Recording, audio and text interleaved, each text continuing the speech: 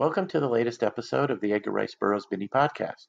These short podcasts are meant to supplement the full length episodes that I do along with Jess Terrell and Scott Stewart, in which we usually talk about one of Burroughs' novels in detail. Right now, we're using the mini podcast to do a chapter by chapter analysis of the 1912 novel Tarzan of the Apes. My name is Tim DeForest. I'm the author of several books on what I call pre digital pop culture, things like pulp magazines and old time radio, and I keep a blog about such subjects at comics, old time radio, and other cool stuff. Now, today we're going to be talking about chapter 17 of the novel, titled Burials. Please note that I will include spoilers both of this novel and occasionally of later novels in the series. And I also recommend that you reread this specific chapter before listening to the podcast, as I will be I will be assuming that you're familiar with the events of it as I discuss them.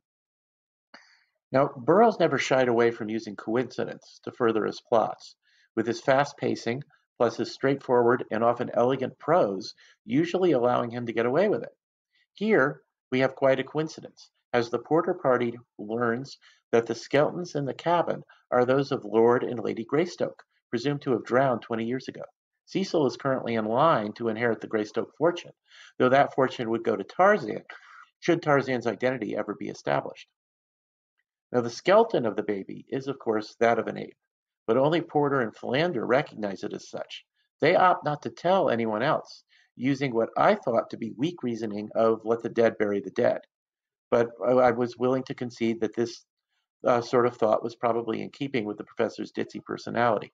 My wife actually disagreed and felt that Porter and Philander were showing some compassion in not upsetting a solemn moment uh, while burying the skeletons by introducing that fact. Now, Burroughs does an excellent job of continuing to show us the difference between the perspective of the Porter party and the Tarzan. For instance, the ape man is confused as to why they would bury the skeletons. I mentioned Burroughs' fast pacing a few moments ago. We see how skillful he is at that in this chapter. After the burial of the skeleton, Tarzan watches the pirates bury their treasure. These two incidents together could have would have made a fairly dull chapter, but Burroughs livens it up by providing us with a mini drama involving the arguments between the pirates and the murder of, uh, of Snipes. Everything that happens is perfectly in keeping with the character of the pirates, and it keeps the action moving along swiftly. Essentially, the latter half of this chapter is a mini adventure within the larger adventure. We see again that Tarzan doesn't quite understand the motivation of civilized men, if we may stretch a point and refer to the pirates as civilized. He has no idea why the pirates bury the chest, and he recovers it and hides it elsewhere purely out of curiosity and an assumption that the pirates thought it was valuable. Um, so therefore, he might get some value out of it as well. Burroughs, by the way, had earlier inserted an important Chekhov's gun in Professor Porter's dialogue, letting us know that the treasure in that chest is needed to keep him from financial ruin. So, in this expertly crafted chapter, Burroughs sets up a future plot twist involving the, tre- involving the treasure, gives us some needed exposition, and keeps the action moving swiftly. I also think Burroughs handles the incident at the end of the chapter quite nicely. First, I like his surprise, um, Tarzan's surprise, in seeing that the Porter party has gotten the lanterns working, having found some leftover oil.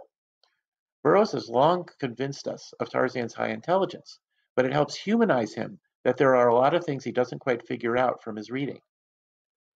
Finally, Tarzan's observance of Jane is nicely handled. If the prose had been less skillful, it would have been a bit creepy. But Burroughs manages to overlay a sense of innocence over the scene, letting us know that Tarzan is falling in love, not simply in lust, with Jane. So that's it for now. Once again, my name is Tim DeForest. Please visit my blog at Comics, Old Time Radio, and other cool stuff. You can find a link to my Amazon.com author page there. Uh, keep an ear out both for more episodes of the mini podcast and for the full length podcast. And uh, if you're enjoying what we're doing here, please take a moment to leave a review at iTunes. So thank you very much.